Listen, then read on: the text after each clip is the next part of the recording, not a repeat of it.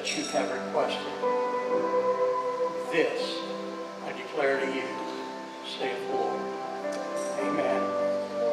Amen. Just give the Lord a praise offering if you would. And while you're still here, while you're still standing, uh, we had a request come in from Bangkok, Thailand. And you're over here this time. Harlan, you and Jolene, you left Cagayan de Oro in the Philippines, and you set out to plant a church in Bangkok, Thailand. And Nancy and I have planted many churches, and we know that it's not an easy task. And you have asked prayer. So Harlan, right now, as you're watching, I want to reach out to you and agree in prayer with you for your church in Bangkok to grow. I don't know what the makeup of the church is. I know there's probably a lot of precious Filipinos there because so many of them work in that area, Hong Kong, Bangkok, all throughout that area. But I want you to reach more than just, just the Filipinos. I want you to reach out to every culture that is in your area because I know they come from all around the world and work there. And God will open a door for you if you'll be bold enough to declare the fullness of God's glory and His power and not shirk nor pull back. I've known you for many years. Known you and Jolene when you first started. And I know what God is going to do in you. You're like a son to me. And I know that God is going to open the windows of heaven. So, Father, right now for this church in Bangkok, Thailand, Lord, for Harlan and Jolene, Lord, we lift them up in the name of Jesus right now. We encourage them in the name of Jesus right now.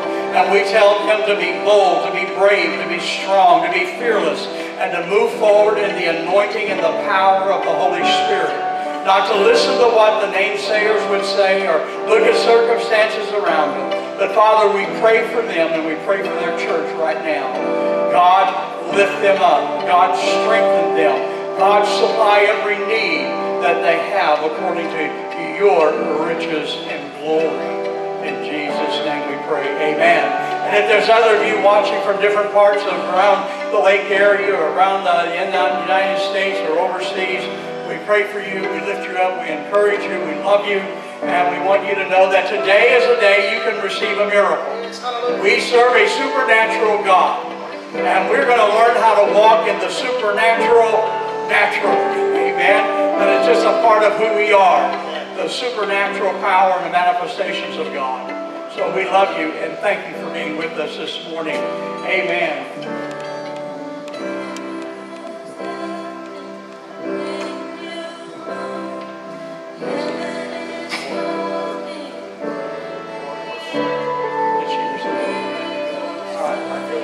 There's another one right now. Casey, I know you've been battling a lot of different situations, spots on your lungs and then just sort kidney areas, all kinds of things.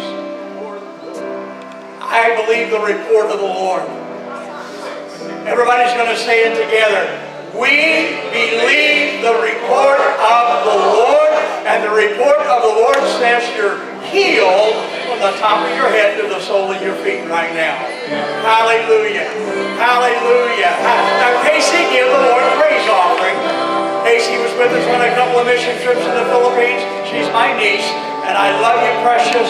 You know the power of God. You saw it made manifest. So just give God the glory for it. You are the heel of the Lord in Jesus' name. And let's give our Lord another praise offering. Hallelujah.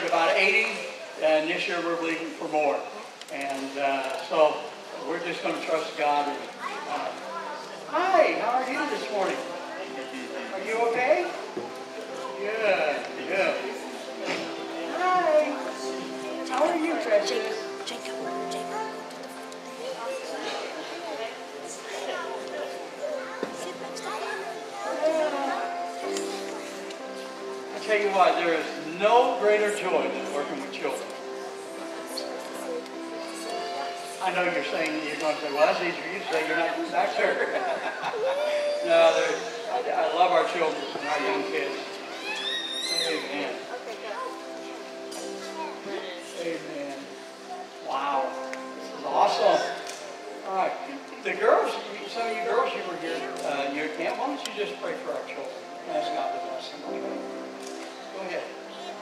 Yeah, right now.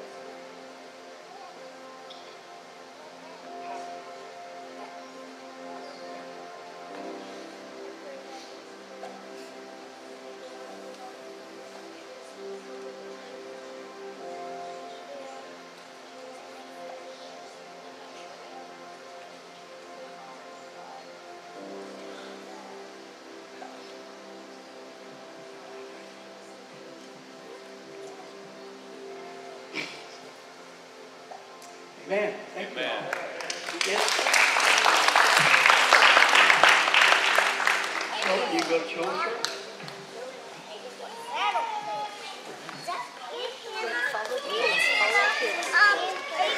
Watch out for the camera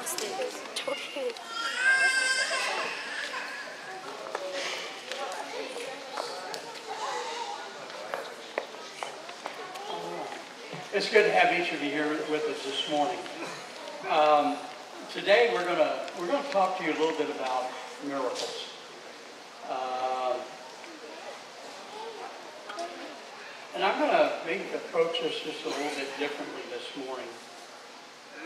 Um, there's so many things when it comes to believing in miracles. Um, someone asked me one time, how can you feel so confident that God is indeed going to do a miracle? A lot of times there's been a, people have been prayed for, and we hear a lot of different things. We hear like, well, uh, they were healed because they had great faith. Uh, then we hear things like, well, they weren't healed because they had no faith.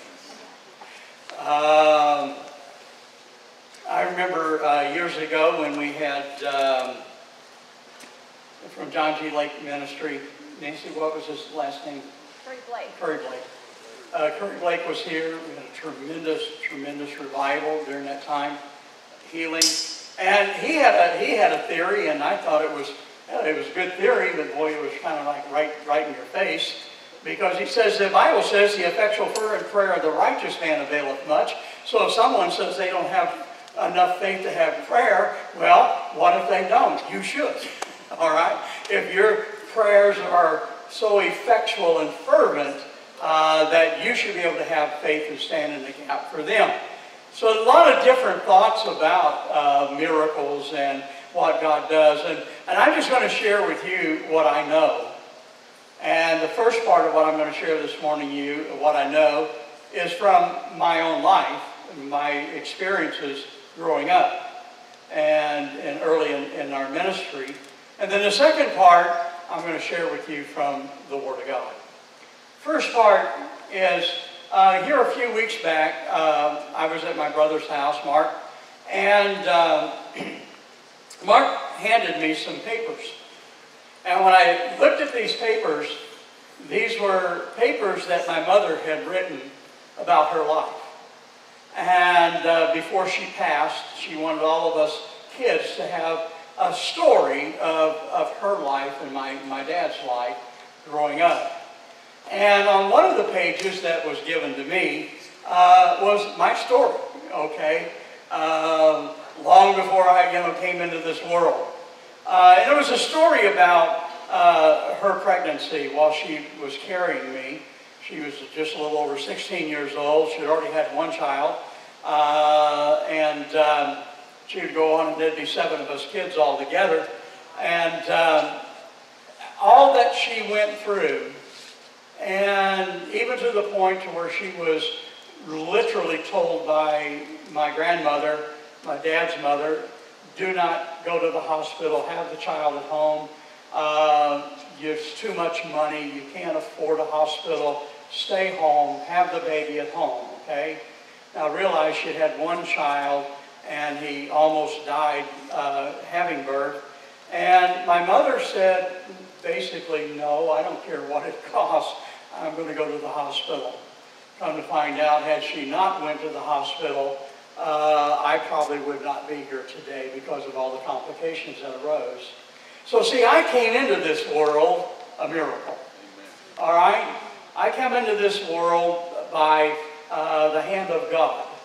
And that was the reason that I have my name Paul Michael because she, she wanted me to be like the Apostle Paul, but she knew that I was an angel like Gabriel. I'm one of the archangels, all right? So I ended up being called Paul Michael, all right? So uh, growing up, I used the name Michael because I was always such an angel. Uh, but later on that changed, obviously, okay? Uh, but uh, anyhow, that, that was a miracle. And then uh, the story of when her and my dad was uh, leaving Arkansas uh, and going uh, to St. Louis to work. And, when they left uh, Arkansas to go to St. Louis to work, they had an old Model T. was, I think it was a Packard, what it really was, an old Packard, a 36 Packard. You know, the Bubba had the hood about five feet, uh, you know, way out there, huge, huge car. And it broke down. and there was no money. My mother had a nickel, and um, I broke down. My dad had a hitchhike back to Paragould, Arkansas to get some parts to come back and fix the car. Uh, my mother didn't want to hitchhike because I was only a few months old, and there was no food, there was nothing there. She was just on the side of the road. And how a family uh, picked her and told her to come into their house where I got to have some milk and you know things like of that nature. So it was another event in my life that God used supernaturally to provide for me. And then years, a few years later, I was in Arkansas visiting my grandparents and got deathly ill. And when uh, they took me to the doctor at that time, they had an iron lung waiting for me in St. Louis because they knew that I had contacted polio and that the doctor told my parents I would live in an iron lung the rest of my life. Now some of you are young, you don't know what an iron lung is. An iron lung is just a big tube and your whole body is on the inside of the tube and your head is out and you're able to look at yourself in a mirror and it kept pressure on your lungs to where you were breathe and you would live your whole life in that iron lung. And they had it ready for me, but my family prayed and they, they sought God. Um, I still ended up quite sick with scarlet fever, but it was another miracle that God did for me uh, in my life. Another miracle that God did for me, I had a little white bunny rabbit. And uh, this was when the age of ice boxes, when they, when they closed, they latched, you know, and if you're on the inside, you don't get out. And this little bunny rabbit jumped into the uh, ice box. It was in the basement of a friend's house with my parents. I went in after it. It went out and the door shut, and I'm locked in the basement. And I can't get out. And uh, obviously, the breath, you know, little by little, uh, air's going away. And I remember screaming and crying. And my mom said, I don't know what happened. I just looked around. I said, Where, where's Michael? And uh, she had no idea I was locked in a refrigerator in the basement. And all of a sudden, the next thing I know, the door opens. And I, I'm almost blue, my mother said. And they were able to resuscitate me. And another miracle in life. And I can go on and go on quite a bit about situations I would get into to where knives pulled on me and guns, uh, you know, at my head and all kinds of things. But through all of that, God supernaturally provided a miracle. Uh, my, my dad with crippling arthritis, they said at 28 he would never get out of bed. He'd be crippled all of his life. Three days after they diagnosed him with that, he said, I'll stand at the window in three days and give praise to God. My father died in his uh, late 60s uh, and never was of arthritis. Okay, God healed him. I watched my mother go through seven bouts of cancer, and every time God healed her of the cancer. My sister had a rare blood disease. She was the only girl that had lived in a tri-state area with this particular disease. They said she'd never outgrow it. She outgrew it. And uh, Sharon's getting ready to turn, what, 60? Or her 63, okay. 63. Well, obviously, she outgrew it, okay? Why am I saying all of this? One of the reasons that I really believe in miracles is because I've seen a whole life of miracles. I've seen God move in so many situations that for me to be standing here is a miracle. Because all through my life there have been so many points of death that could have come and the enemy could have taken me out. But I know that God had a purpose for my life. I know God had a reason for me. You, everyone in this room, you're part of that reason. Those that we went to around the world is part of that reason. My wife sitting here is part of that reason. My children, my grandchildren. Everything in our life, God has an eternal purpose for us and a plan for us. Now, the enemy doesn't want you to fulfill that plan. He wants you to be totally, completely incapacitated, totally put down and destroyed. Why? Because in your life, you hold life. And that life is through Jesus Christ. And you can change people's lives. Just like the girls this week at, at camp. Some of them little refugee kids, their lives will have been turned upside down this week. And though you girls may not get to ever see them again, for those little kids, you will live forever in your life. you made an impact in their life. You changed them. And you you know, society would look at you and say, yeah, but you're, you're 13 years old, you're 14 years old, you're 12, whatever your age is. What can you do? You provided a miracle for those kids. You changed those kids' lives. That's the power of a miracle. So when people say, Brother Paul, do you really believe in miracles? Oh, yes, I do.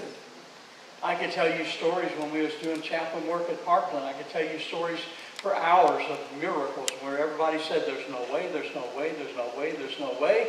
And yet the patient would end up walking out of the hospital totally, completely healed by the power of God. We've seen miracles in this room alone.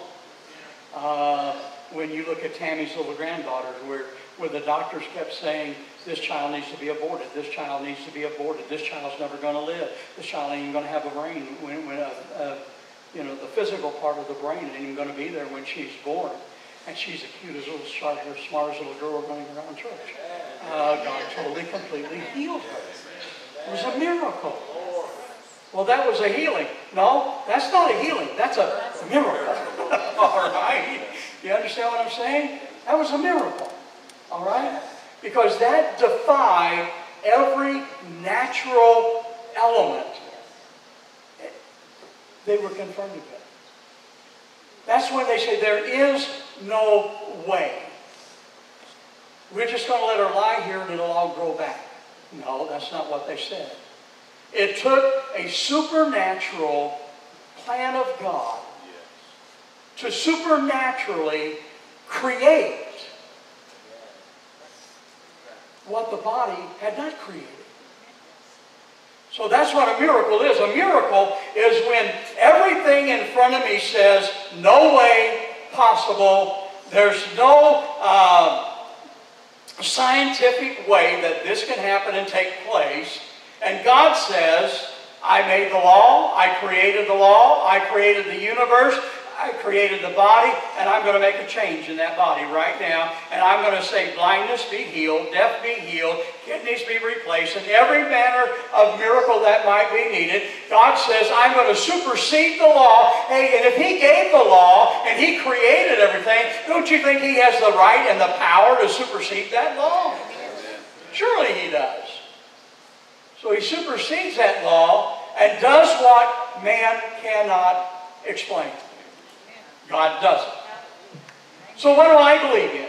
Well, I believe in the Word of God. I believe that what God's Word says, He means. And I believe that all I've learned to do over all my years is simply stand on the Word of God, trust the Word of God, and not lean to my own understanding. Okay? Proverbs says, lean not unto your own understanding, but acknowledge God in all of His ways. All right? That is the greatest key for you to receive a miracle in your life. Because most of the time, if we're not receiving a miracle, it's because we're trying to lean on our own understanding. We're trying to figure out how God's going to do it, okay? And I don't care if it's a physical need or a financial need. You need a miracle. Quit leaning on how you think it's going to come to pass. Well, I think I'm going to have a financial miracle because I'm going to win the lottery. Nah, you probably ain't going to win the lottery, all right? All right, the only ones that win the lottery are the ones that don't need the money. It's kind of like going to the bank, okay? Eh, eh, you know, well, you ain't got enough collateral for me to give you a loan. Well, if I had collateral, I wouldn't come here to get a loan, okay? So don't lean to your own understanding of how God's going to do it. Just believe the Word of God that God says, I will do it. Because if we'll believe His Word and stand on His Word, and not our own understanding. All right? people ask me a lot of times, well, how come we saw a lot of miracles years ago and we don't see as many today as we should? You know, years ago we didn't have all the options that we have. Years ago, there wasn't things like welfare, there wasn't things like Medicare, there wasn't all of the things that are available to us, and many times people just simply had to learn how to live and trust God on the Word. Now, I'm not against any of the, the medicine. I'm not against doctors. I'm not against any of that. I thank God for all of their ability. But I know someone who has more power than the surgeon has, and that's the power of the Word of God. I want to learn how to stand on God's Word. I want you and I to learn how to stand on God's Word for whatever the needs are in our individual life. And I believe if we'll do that, God will change us and make differences in our life. So I want to turn, if you would, just for a moment to Hebrews chapter 4. And we're going to spend a little bit of time in the book of Genesis in a moment. And I'm going to kind of lay a groundwork for you. Okay, in Genesis, uh, excuse me, Hebrews chapter 4, 2, verse number 4. Hebrews chapter 2, verse 4. God also testifying with them, both in signs and wonders, and by various miracles, and by gifts of the Holy Spirit, according to his own will. Now, the scripture tells us that God is the one who will confirm signs, wonders, and miracles. Now, when I look at faith healers, I have no problem with faith healers if they're really real and they're not doing it on their own. Because a faith healer, if he really is uh, gifted with healing in his life, the gift of healing, then he's going to do what? He's going to give all the honor and glory unto God. He's not going to seek any glory or honor unto himself because at the end of the day, he realizes that it's God that does the healing. But he speaks the power of the Word of God in a meeting like this or in a crusade. He speaks the power of God's Word, and God says, Because you have spoken my Word, I want to confirm my Word, and I will confirm it through demonstration of signs, and wonders, and miracles and healings. So our responsibility is to minister the Word of God and then allow God to back up what we say. So now if I don't minister the Word of God to healing for you in your life, and if you haven't come to a place where you can believe the Word of God for healing, then the odds are the signs and the miracles and wonders aren't going to take place in your life because your faith isn't to that point to trust Him for that. And then also in your own individual life, the Word of God hasn't been shared to you. So this is why I believe in miracles. I believe in miracles because I know that if I share God's Word with you about miracles and them being able to happen in your life and take place in your life and change your life, and I can feed the Word of God to you enough, I know that somewhere in that process, you're going to begin to believe God's Word. And God says, because you believe my Word, now I am mandated by my own Word to perform that which I have declared unto you. Amen? Amen. So now, I, you have, I, I don't want to necessarily phrase it this way, but I am going to anyhow. All right? It's not like we put God in a box. But what we're basically doing because of the Word now, and we stand on the Word, we declare the Word, we speak the Word, we believe the Word, and we put the Word back unto God. Now God comes up with Jeremiah, and he has to say, I love to perform the words of my mouth. Because now we have put it back to God and say, God, this is what you have said. This is what your word says. I'm believing it. I've got it now, not up only here in my brain, it's in my heart and in my spirit. And you stand on that word. And when you stand on that word, God says, okay, you've got me here now. I will perform that because that is according to my word. And God cannot do something that is not in accordance with His Word. But He must do now, not because I said so, but he must do what he has confirmed in his word because he said, I cannot lie, nor can I break a promise. Well, if you can't break a, a promise and you can't lie, and you said that you are the God that healeth us, now if I believe you are the God that healeth us, and you can't lie, you can't break your promises, then what's going to happen? God is going to heal us and touch us because it's his word. Hallelujah to God. Now that's true in our natural healing. It's true in our finances. It's true in our spiritual walk. It's true in relationships. It's true in every area of our lives. And we've got to come to that point and that understanding. Now I made mention to you recently that we are Christians. And the God that we serve is not a Christian God. He is the Savior of the world. See, every faith has their own God. But our God is not just a God exclusively unto us, but our God is what? He's the Savior of the entire world. And one, oh, hallelujah, you've got to get a hold of this because I want you to know who you're serving. See, every other God, they're either dead and in the grave or they're long forgotten about. But our God, the God of the universe, the Savior of the world, says that one day every knee will bow, every tongue will confess that I am God. I'm the Savior of the world. Yes. No one else claims to be the Savior of the world except Jesus Christ. And we go through the book of John. I am the way, the truth, and the life. I am the Alpha and the Omega, first and the last. I am the door. I am the vine. I am the only way into the presence of my Father. Jesus says, I am more than anybody. Because he wants you to know he is. Put it in a southern vernacular, he is that he is. And that's all that he is. Whew. He's everything for us. But you've got to believe that. Because if you do, we're a God of miracles. Christianity is all based on miracles. Everything we do is, is based on a, on a miracle that God has done. So I want to look for a moment. If we go back to Genesis, and you'll just have to kind of follow me through with Genesis and maybe read it all for a little bit later.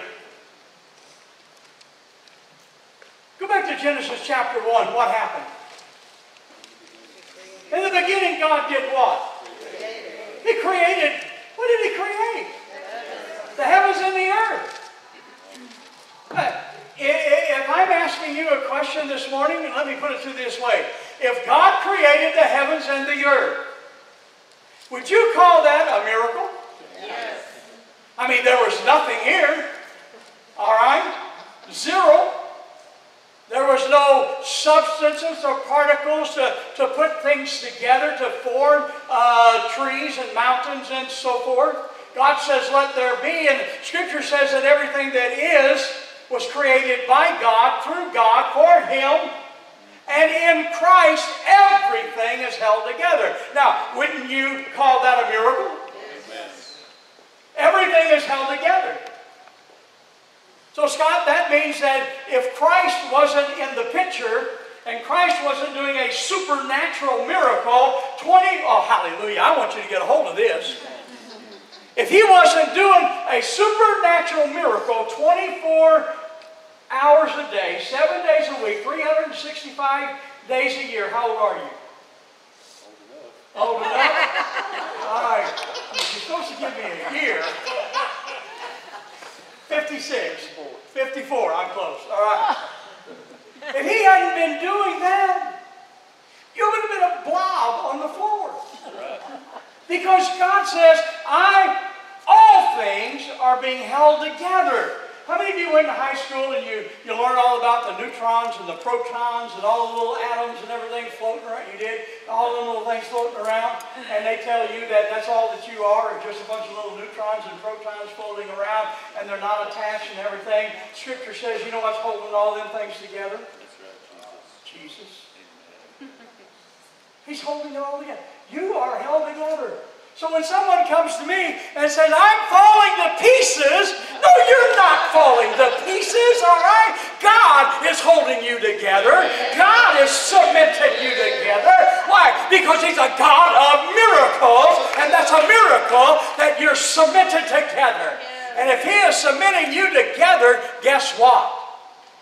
That's the best glue in the whole world.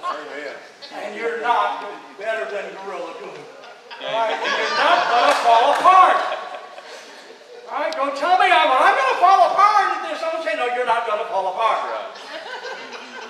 You're going to get frustrated. You're going to get angry. You might get mad, but you're not going to fall apart. So in Genesis 1, we start off, everything is started off with a miracle. And then we go a little bit further in chapter number 2, that the story of creation in the world and man at the center of it is a creation. It's a miracle. Now I'm going to make you and I'm going to breathe breath into you. I'm going to breathe life into you. And you know what I'm going to do? Out of this vast creation that I've made, all the animals and everything that I've created, I'm going to give them unto you. You now have dominion. Now, we're getting ready to go into the wild tomorrow. All right? You know what I see as a miracle? I see a miracle when God told Adam, name every animal there is and give them a name. I see that as a miracle. I mean, can you imagine a giraffe walking up to him and he says, You're an elephant? I mean, I don't know how he came up with all the names. It's a miracle. Everything about us as believers, as Christians, and the Word of God is all based on miracles. We are a miracle people. We are created by a miraculous God in a miraculous fashion, put in a miraculous universe, given, held together by a miraculous power of God. Why can't we believe in miracles? What keeps us from believing in a miracle in our lives? We are the, we're what keeps us from believing in the miracles. Amen. Well, I just don't think that I deserve a miracle. What are you talking about? No, I won't receive that. I'm not worthy of a miracle. Do you know what you're telling me? You're telling me that you're not worthy of the blood of Jesus Christ, that by His stripes you are healed. You're telling me that what He did on the cross for you and I wasn't good enough. I'm telling you what He did on the cross was more than good enough to provide a miracle for you. His blood was more than powerful enough to provide a miracle for you. So don't say that you're not worthy enough. You were worthy enough for Him to die for you. You think you're worthy enough for Him to touch you in your body, heal your body, change your body, change your life? You're that worthy. Amen. Well, yeah, but you don't know everything that I've done. I don't need to. God did. He knew you before you was ever born. He knew when you got 18 you were going to do some stupid stuff. Did it please him? No. But he gave you free choice. And he still said, you know what? Whenever I get ready to go down there and die, I'm going to die for you. And I'm going to die for all the dumb stuff you did. Because I determined before you came into the world that you were worthy of my death. And if he had determined that you were worthy of his death before you came into the world, then don't you think he determined that you were worthy of his healing? And that you were worthy of a miracle in your life? I declare to you that you are. Wow, that's only chapter 3. Chapter 3. That's where the devil comes into Adam and Eve and, and tempts them to sin, and God has to expel them from the garden. Aren't these miraculous things? I mean, the devil turned into a serpent. And he deceived them. Listen, I know a lot of people who probably, well, I ain't going to go there, but who have issues in their life. But about the first time I see something walk in the garden and turn themselves into a serpent and then begins to talk to you in the way that you understand them, that was a miraculous event. That was supernatural. Now, maybe not on the good side, but it was still supernatural. Do you understand where I'm trying to help you get to today? To believe that the miracles and the supernatural happening in each of our lives because we are a people of the supernatural? Wow.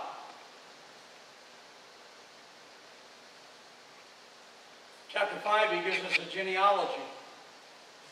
And then all of a sudden in chapter 6,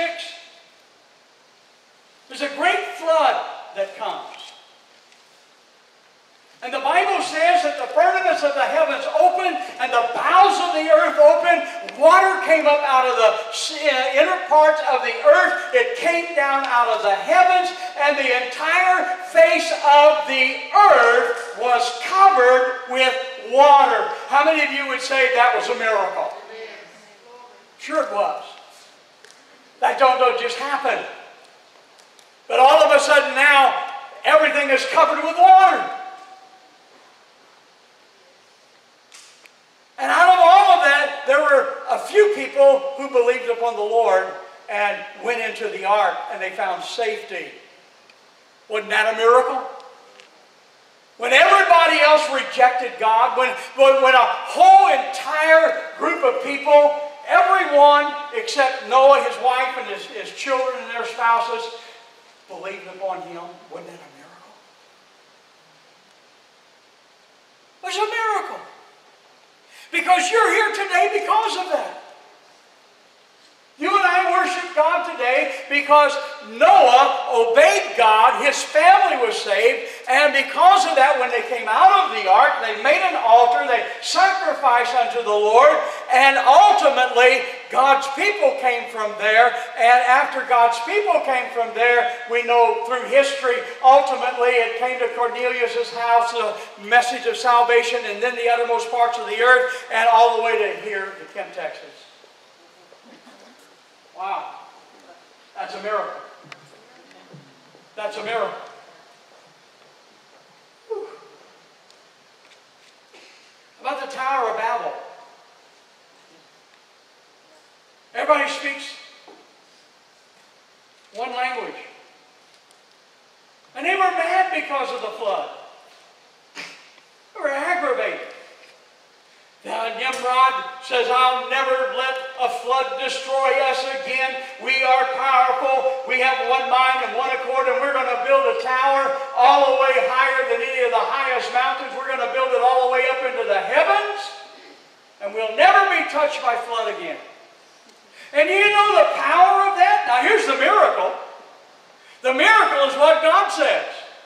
God says, let us go down there and confuse and confound their language and split it up, and make them speak different kind of tongues, because whatever they've set their mind to do, they will do it. Now that's God's word, not mine.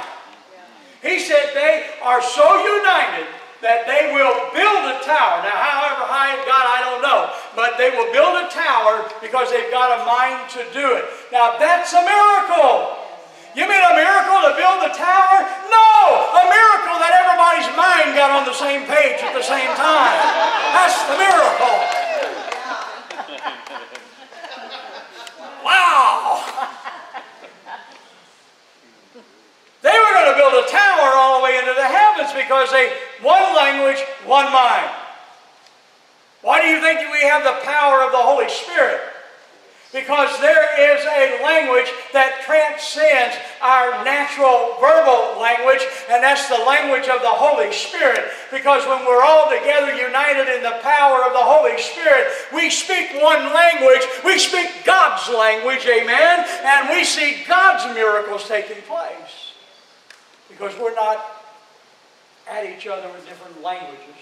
I believe that's one of the reasons the Holy Spirit was made manifest through tongues because it was God's way of saying, I used tongues to confuse you at one time, but now I'm going to use them to unite you now to do the work at the end time.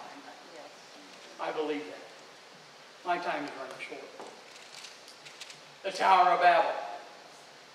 So really the first 11 chapters of Genesis don't actually fit theory of man, but what they do do is they let us know that our whole con, our whole conception by God was miracle. One miracle right after the other.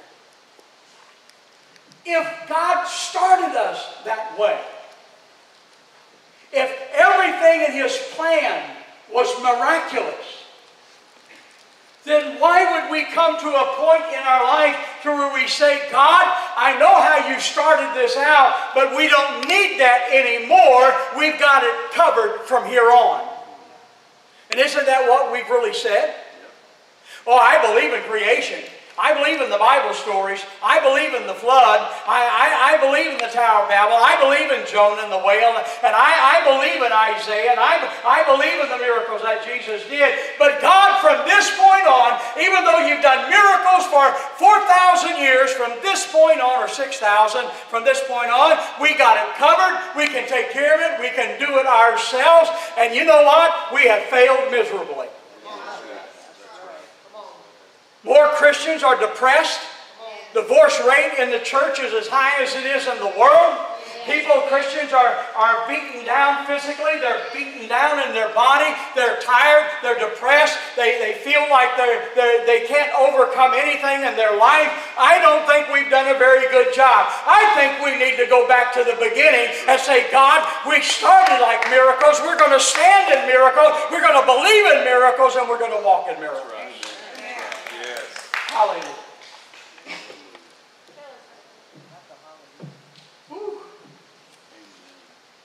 I could go on. It was a miraculous call with Abraham. And I'm not even getting out of the book of Genesis this morning. It was a miraculous call of Abraham. How many of you believe that it was a miracle when Abraham took Isaac up on the mountaintop? Abraham, kill your firstborn son. But God, you promised him. I waited 99 years for him. Kill him. Make a sacrifice of him. But God, Sarah said she ain't going to go through this again. Not at a hundred. so he takes Isaac up.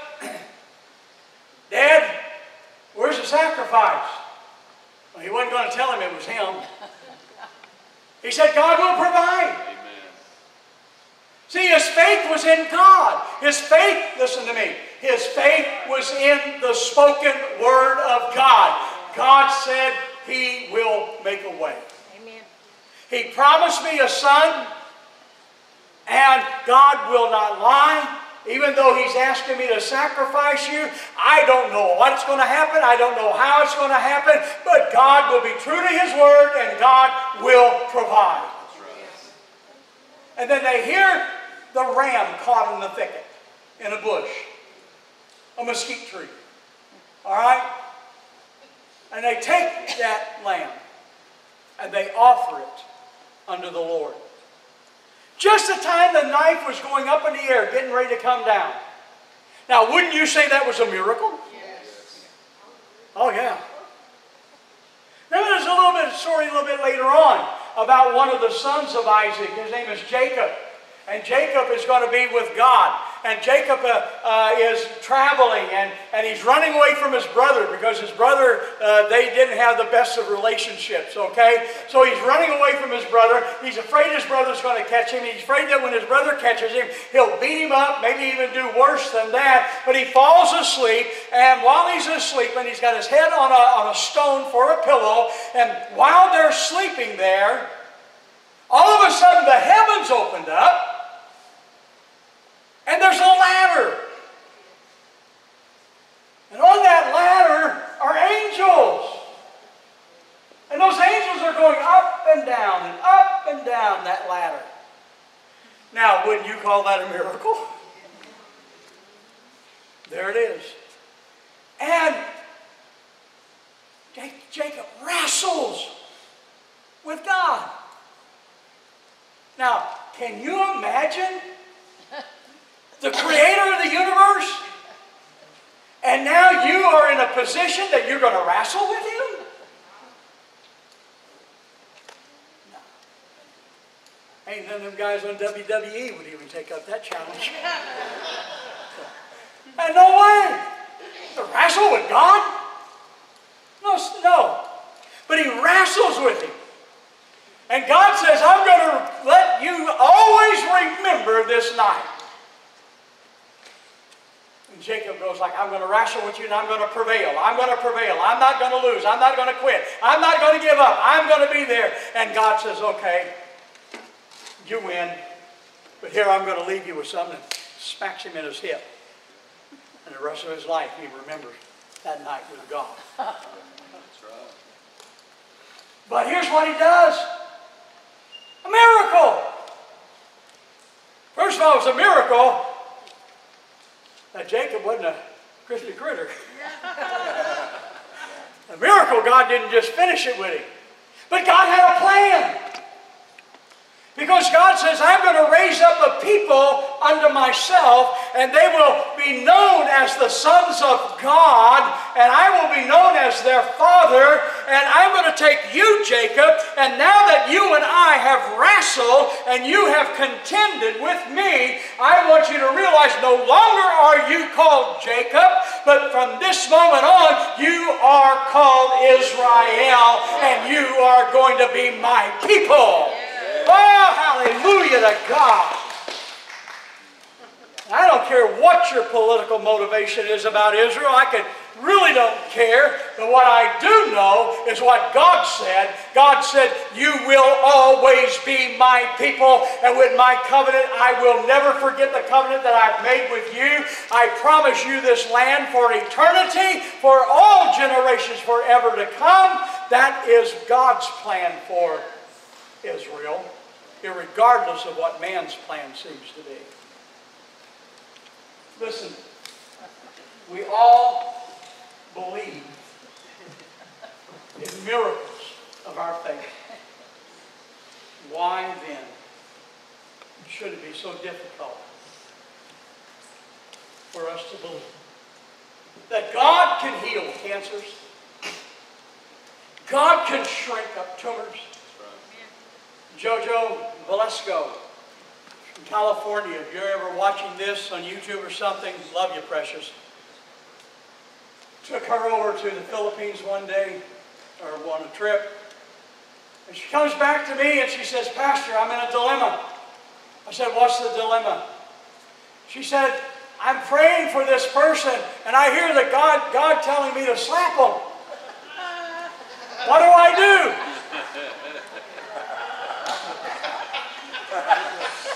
Make sure you heard God. Make sure you heard God. She slapped him. I don't know if she was waiting to get slapped back or not. She slapped him. And a deaf ear popped open immediately. Then she'd come back and she'd ask me again, the Lord told me to do this.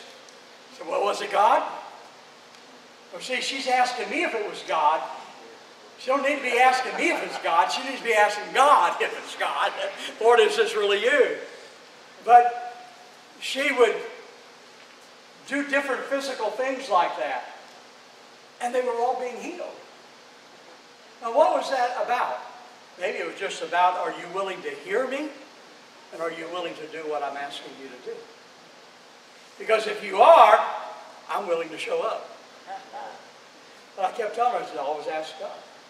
Brother Skip, do you remember years ago when uh, WB Senior and some of the others, someone would have a huge tumor in their stomach?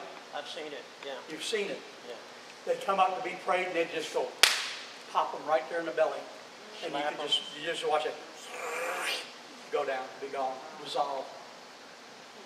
We put our hands on goiters that literally stuck out like this on their necks. And we just watched the goiter just dissolve right at our very fingertips. Deaf ears open, blind eyes are open. Miracle after miracle. See, God has never stopped being a God of the miraculous. That's right. We've just stopped expecting him That's to be right. the God of the miraculous. We've stopped believing and expecting. He's the same. He said, I'm the same yesterday, today, and forever, and there's no variableness or shadow of turning with me. I'm God. Why can't we believe in God for miracles today? Why won't we trust Him for miracles today? See, all manner of sickness and disease is healed. I've shared with you before, back in the 50s, in the healing, healing revivals that were going on, hospitals, they had terminally ill patients, and they knew they were dying, no hope. There was a healer, faith healer in the area, in the tent. They'd say, put them in the ambulance and take them down to the healing units, where they could get healed. Wouldn't that be awesome today if all of our physicians realize there's nothing else we can do? You know what our options are today? Well, if there's nothing else we can do, go ahead and pull the plug. Listen, I'm just being honest with you. Take them off life support and let them go on home. Not knowing which home they're going to go to. But see, then, they said there's no hope. Send them down to the preacher. Send them down to the tent. Wouldn't it be awesome if we could get back to that point and even beyond that point where we believed in miracles? And all of a sudden we have intercessory prayer on Monday morning and it goes all day and all night because the line outside is so long. Those people are coming to be healed and set free and delivered because they know that the miracle working power of God is still here. Our first and third Friday nights when we have praise and worship, or just worship mostly, and the healing room, that Jeff and Martha have got a line all the way back to this church waiting to get over down that corner. Or how about better yet, that we believe in God so much and we believe in the power of God so much that people know that all I've got to do is go walk in the front door and I'm going to be healed. I know I can, if I can just get to the door, there's so much power and belief in the miraculous there that I know that God is going to heal me right then and right there. When I was a boy, we'd go to a, a general assembly, and Friday night was the healing night. People coming from all over the United States, all over the world, 10,000, 15,000, 20,000 people. And on Friday night, the line were out the tabernacle door, down the block, around the corner. I mean, it was forever. And there'd be usually about a couple hundred preachers up there, and they'd have a prayer line on one side and the other side, and they'd just start walking through. And as they walked through, canes would fly out, wheelchairs were left to the side, people walked in dancing, bent over, come out straight, cancers healed, every manner of miracle in the world. They called it the Great Healing Night. Why? People believed that all they had to do is get into the what? Have a preacher pray for them? No. Get into the presence of God. That's all. We create the presence of God through our praise and our worship, through our sacrifice, through ministering the Word of God, and that presence is created. And when you walk into the presence of God, if there's anything wrong with you, you declare healing in the name of Jesus and be healed in Jesus' name. And receive that miracle for your life. And then walk in it. Well, next week we're going to talk about how to keep your. Why? Because then you're going to get healed. Yes. Today you're going to receive your miracle. Yes. And they're going to sing that same song we ended with a little while ago on miracles. And whatever your need is this morning, I want you to believe God for it. Rosa, I'm going to call you out, girl. I know everything the doctors have said, but I want you today to believe it. Rick, put all of your thinking aside. Matter of fact, put your hand on your head. And say, this is my thinking, Rick. Say it, this is my thinking. My thinking, Rick. I take it off. I put it to the side. Right? All the things that the enemy has told you. All the battles you have.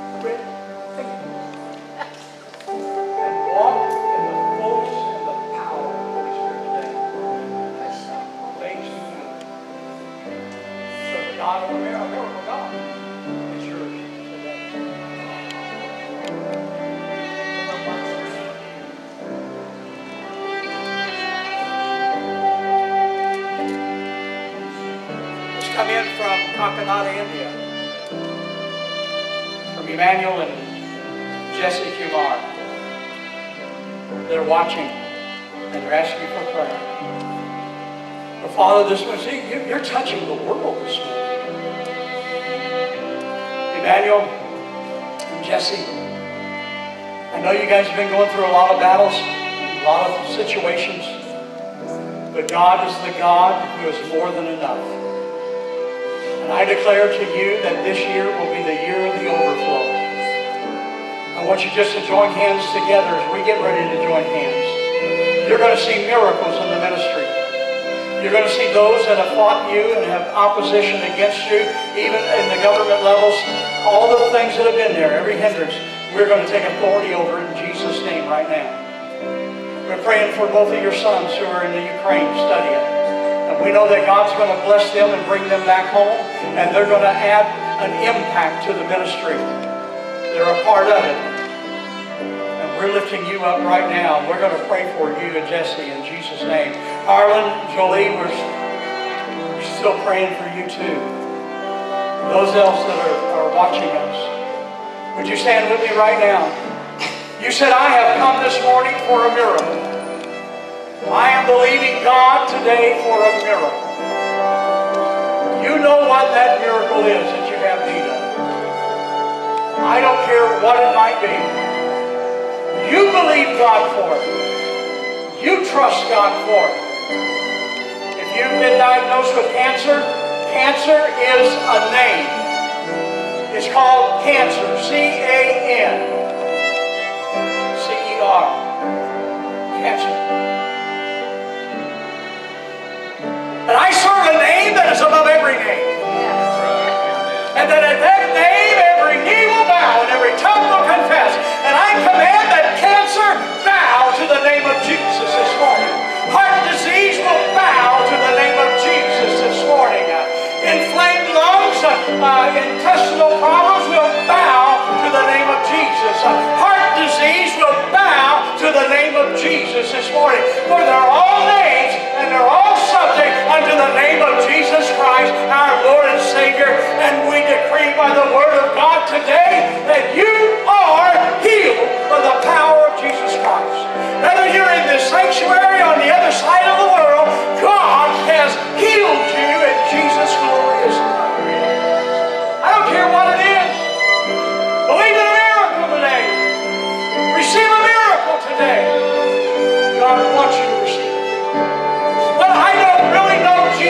my Lord and Savior. Then receive the greatest miracle that man could ever know and ask Jesus Christ to come into your life.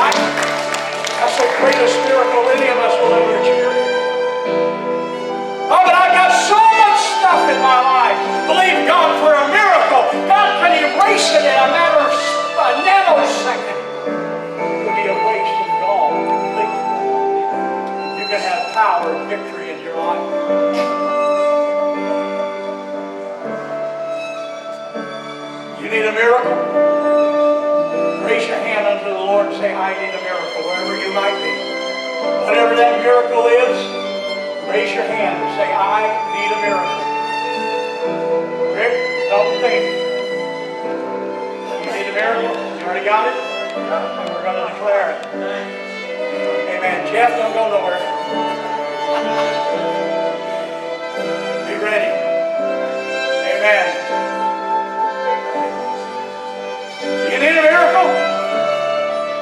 Hands are being raised right now.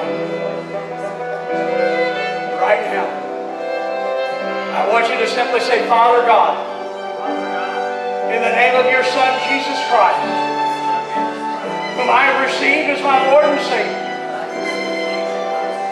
I receive my miracle. I receive my miracle.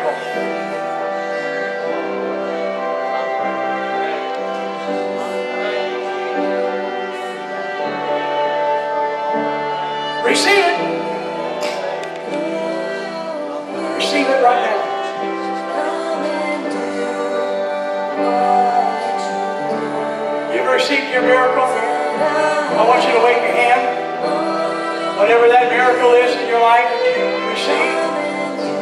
Hallelujah. Hallelujah. Amen. Glory to God. Hallelujah. Oh, we praise you and we worship you, Almighty God. Hallelujah. God is moving in our midst this morning. Lives are being changed to know the glory by the power of Almighty God. Hallelujah.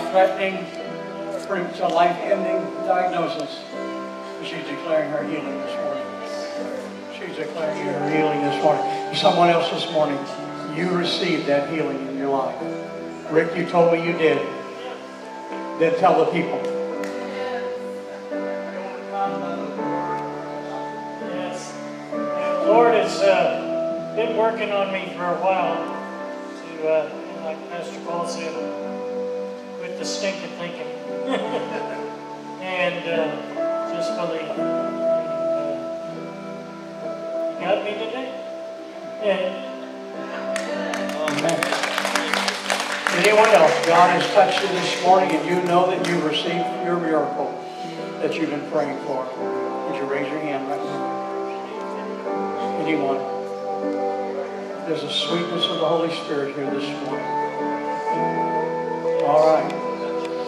Well, we have two testimonies that the doctors would have given up on, but we don't give up, do we, Tammy? We don't give up. We don't give up. We believe God for for a miracle. Danny for a miracle.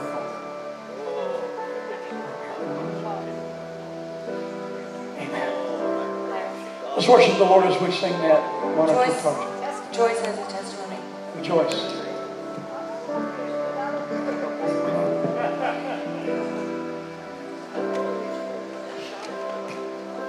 Um, we heard about pulling down our healing. And uh, Patricia was talking about the morning that she came, that she could hardly get out of bed. And, and so she was talking about, Lord, what should I do? And the Lord said, pull down your healing. You know what to do. So she did, and she, she was instantly healed. So last night, in the middle of the night, I had this terrific hip pain. And I, the first thing I thought was, oh no, I'm not going to have a hip replacement. so, so I was reminded. So I said, Lord, I'm going to do your thing. I pulled down the healing for this hip, and it was perfectly normal this morning when I got up. Amen. Pull down your.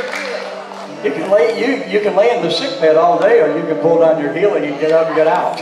all right. God's doing some awesome stuff this morning. You're here for the first time. Thank you so much for being with us. We know you have a choice, um, and you decided to spend it with us, and for that we're honored.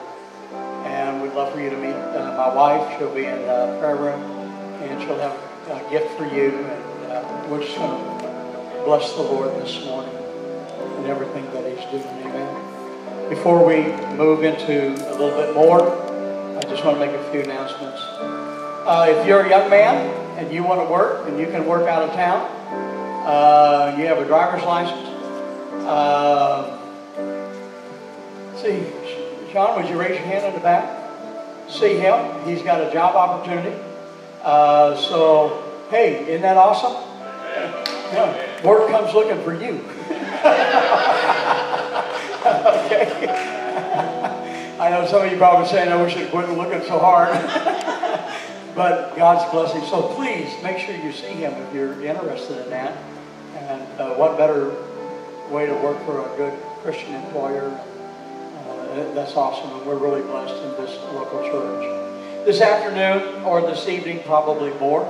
Uh, those of you that would like to uh, canvass some of the neighborhood and hand out little flyers for VBS tomorrow, Rachel will be in the back part of the church area. Please see her, and she'll coordinate, with her. And uh, we still have some work to do. I need a couple young men, strong, uh, that can help them set up some last minute things for uh, the VBS tomorrow. So if a couple of you young, strong men can be here, that will make a big, big, big difference. Uh, other than that, make sure you see Rachel. Uh, tomorrow uh, at uh, 6.30 uh, is our VBS. And uh, so invite the neighborhood kids, and we're going to have a fantastic time. You can see the enormous work that is went into this. I, I'm holding back from calling out the names because I'll do that toward the end of VBS and recognize everyone, make sure they're all here. But boy, there's a few names I can give a shout out to right now. It would not have been possible. with you. Okay, uh, you, you guys outdid it, and uh, we thank you so much. And we'll recognize everyone at the end of uh, at the VBS. So Mark, come and finish this. We decree. We decree. Him. Him. Lake Erie. Lake Erie. Kaufman. This whole world. Every child that, and man, woman that comes in this building this week. Every child. Shall be